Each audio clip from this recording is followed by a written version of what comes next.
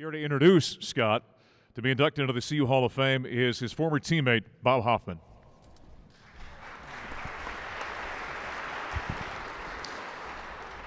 I wanted this opportunity to, to introduce Scott because he's the most self deprecating person I've ever met. And I did a little walk around CU yesterday. And right up on Norlin Library, there's a, a phrase that I never forgot. It says, now it's used to say, he who knows only their own generation remains always a child. Now it just says who, you know, it doesn't say he because it's different now. But anyway, it was, it was really good walking through. And also, I wanted to mention one other person that died tragically in, in uh, 2013. And we named a statue after him, and it's still there at the Student Center where the fountain is, and that's Cliff Meely. And he's one of the great players that, that Scott and I ever got to play against. And, and I did want to mention him. Anybody who sees that statue, is kind of an abstract, but it looks like Cliff Meely's jump shot. And Harold Fielden mentioned that to me a long time ago, and we've called it that ever since. So that's for, for Cliff. And for Scotty, uh, things you don't know about the guy is that he's probably the most underrated NBA player ever, and that's according to Court Reynolds, who's a writer for the Boston Globe. He averaged 25.7 points per game in a playoff series in 1981 against, um, that was Portland. They won three games, got the NBA Finals against Houston, and Scotty averaged 19 points a game playing big guard, not forward, which he never did in Boston. And if he had a points per minute, Scotty's NBA record in 19, for instance, in 1984, he made 11 straight shots in an NBA final game, which is the first game against the Lakers in the 1984 85 series. The year before that, he averaged, uh, he hit the game winning shot against the Lakers when they won in 1983 uh, 84. So he has so many accomplishments that, that are so unbelievable that he never talks about. And even at CU, we were in a weird era. I call it the Tartan era because from 70 to 74, we played on a tartan surface that's still up in the field house, and it probably wrecked more legs than any surface that ever could erect.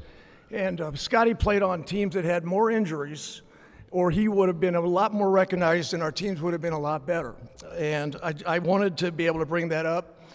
He uh, played in 75 games, averaged 20 points a game his senior year, scored over 11,000 points in the NBA had just a, a career that's unbelievable. He had one year he averaged more points per minute than Larry Bird when Larry Bird was an NBA All Star or Player of the Year. So that's some things people don't know about Scotty, and uh, I, I, wanted to mention it. We both had a great experience, and I and I thank Chief Prennup so much. He used to tell me I couldn't pour piss out of a boot with directions on the heel every time I tried to not jump rope, had to skip rope with him and learn and punch the bag. And, and Duke, I just want you to know, he also taught me how to blow a whistle with a sharp staccato blast.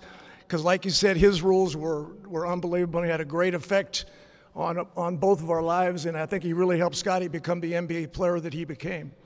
And uh, anyway, it's kind of symmetric. I'm a basketball coach at Fort Lewis College now, and we play CU coming up. And nobody has had more of effect. Of course, we got to play for Sox Walseth, and I do hold two records that nobody probably knows about. The first one is I held Lonnie Kruger to 37 points twice in 1973 in the Big Eight championship game. And, and the other is that Sox one time told me, he said, he said, Get in, Bobby, for, for uh, Lee Haven. So I went in for Lee Haven. Then the buzzer rang, and it was right after a free throw was made, and I came back out. And Sox looked at me and said, Bobby, you look like you need a blow. And I hadn't played zero seconds. So I have that record as well, playing the least time in a substitution. But it, it was great playing for Sox. He once told me when I, this is just, this is not for Scotty really, but I have to mention this about Sox because everybody here has probably heard Sox in the old days. And he came up to me, he's the best. He, he came up to me, and I was just interviewing for the Fairview High School basketball job in 1977. And I thought I had the job. I mean, I, am from Boulder. I played ball. So anyway, Sox comes up to me, sees me at the grocery store, and he says, says Hey, Bobby, I hear you're up for the, the CU job, or excuse me, the, I, tr- I tried that in 1990, right, Bill? And he, he said, uh, in, in 1977, he says, he says, Bobby, no reason to be optimistic, but I hope you get the job. which, if you know Sox, that's about as typical as it gets. But, you know, anyway, I'm kind of random abstract, but I did want to mention all those things about Scotty that he wouldn't say about himself. Uh, I was with Scott as a roommate when he, when he met Kim, his lovely wife, in 1972. And Scotty was so far ahead of his time that I think it hurt him. Nobody is more insightful about basketball than Scott Wedman.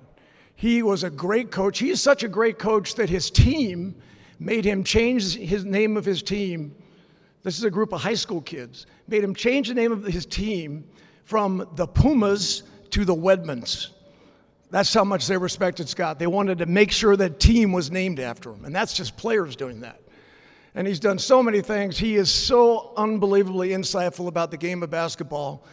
And the thread that I've had as a coach in the same time he's been coaching has been just remarkable. I've coached since 1974, and Sox has coached, and then I watched Scotty play. Then when he got done, nobody can watch a person shoot and tell them what they did better. I had him, he came to coach with my team so many times. He's just the most unbelievable basketball person I've ever known. And, and I kind of insisted, thanks to George and a few other people. George played for me in 1981. It's kind of weird after being his coach, seeing his name behind me, but that's, that, that goes okay too.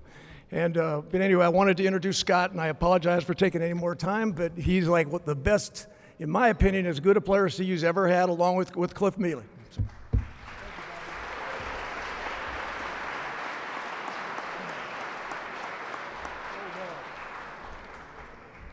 Well, I was uh, hoping to have at least 30 seconds after Bobby spoke, and I think it's down to about 10 seconds. So this is going to be fast. Oh, thank you. First of all, University of Colorado, thank you. What a great honor, not only to notice what we did and that it mattered and to honor for us. All of us as inductees, this is really an honor to be here tonight. Thank you so much. When I first arrived in Boulder in 1970, went to the game. At that time, freshmen could not play on the varsity. They had Cliff Meely, Jimmy Creighton, uh, Bobby Hoffman, Tommy Kennedy, Lee Haven.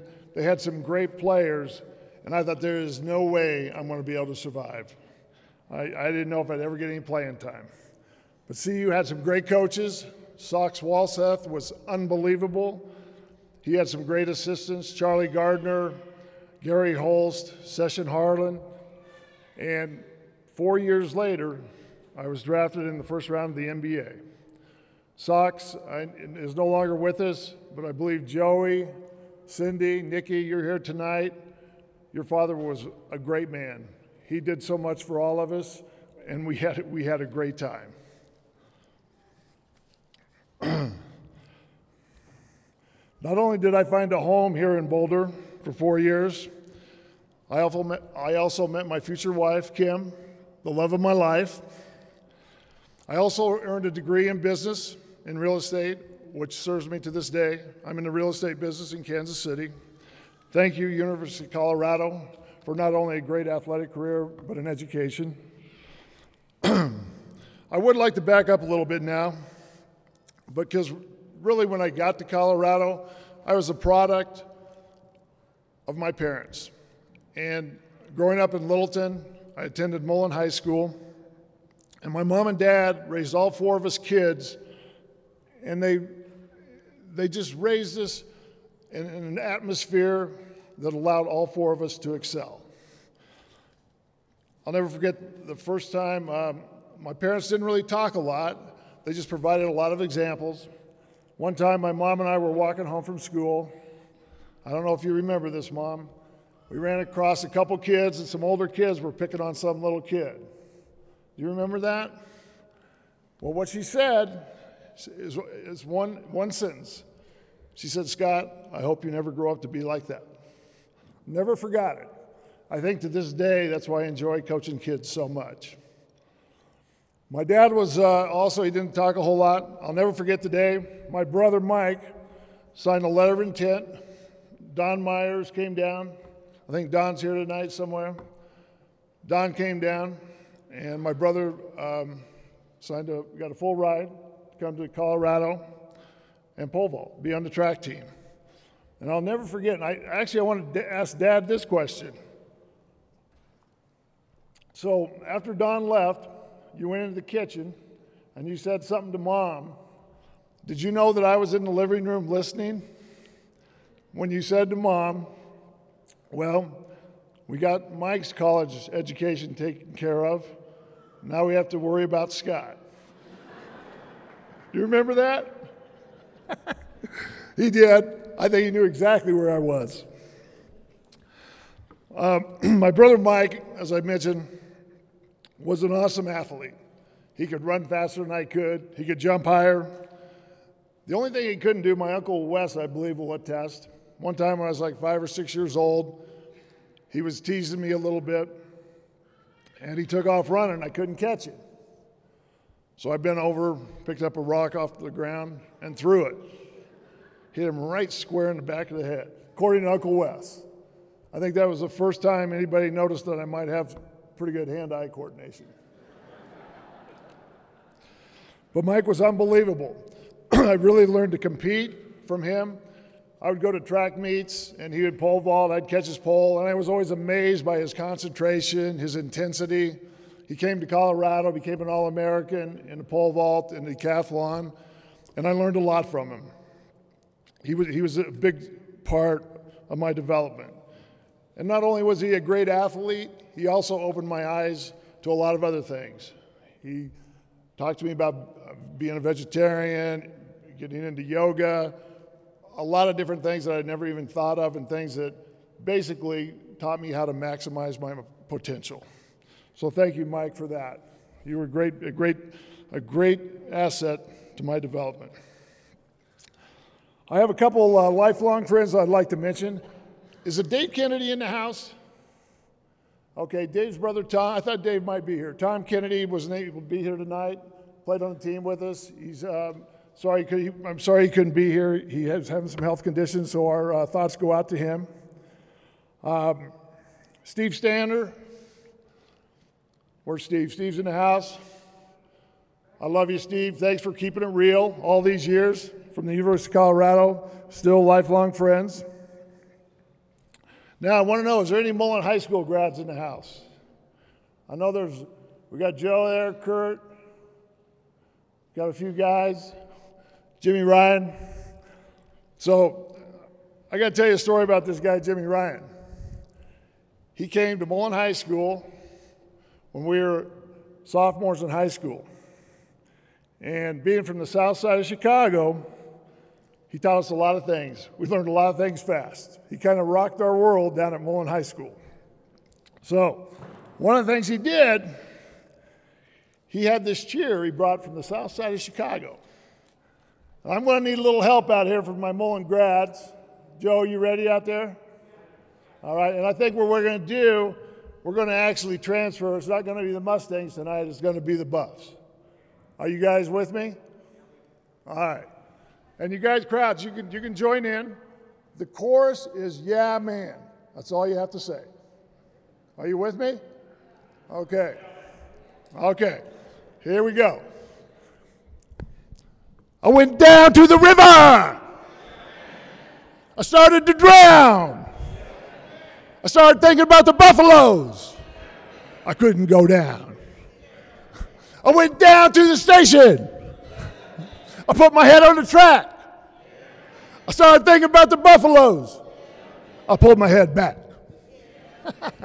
Thank you, University of Colorado. It's been a great career. Thank you so much.